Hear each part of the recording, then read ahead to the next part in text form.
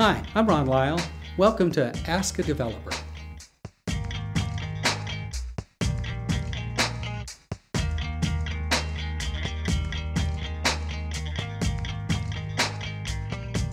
That's a really good question, and unfortunately, also a very difficult question.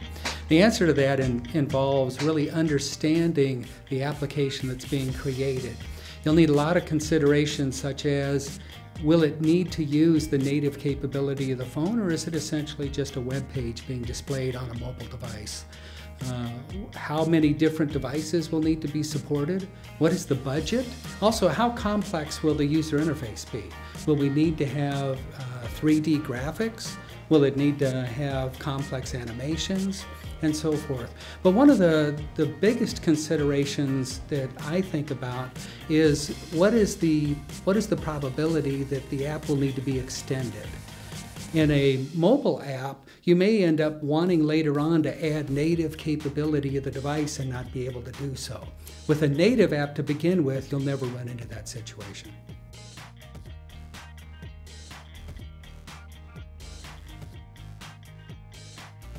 Well, that's a age-old problem. Uh, you can probably tell from my gray hair that I go back to the beginning of the PC days, and we had a real shortage of PC programmers back then also. And ever since then, each new technology that comes out requires a lot of retooling and retraining.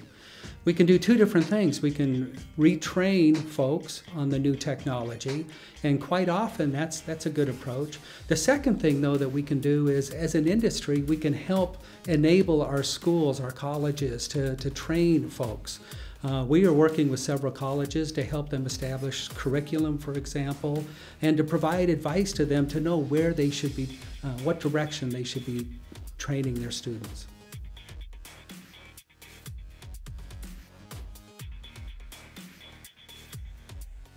That's a loaded question. I, I am a manager, so my understanding of what you mean by a skunk works is a project that management doesn't know about. One of the obvious values to a project that management doesn't know about is that management can't squash it or kill it.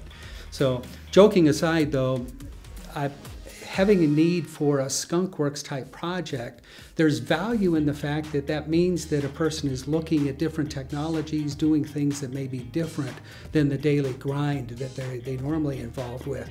But that also implies that perhaps the, the programmer needs to be talking to their management about the fact that they need an opportunity to, ex, to experience the new technologies and do other things besides what they normally might be assigned to. And that's it for this week's Ask a Developer.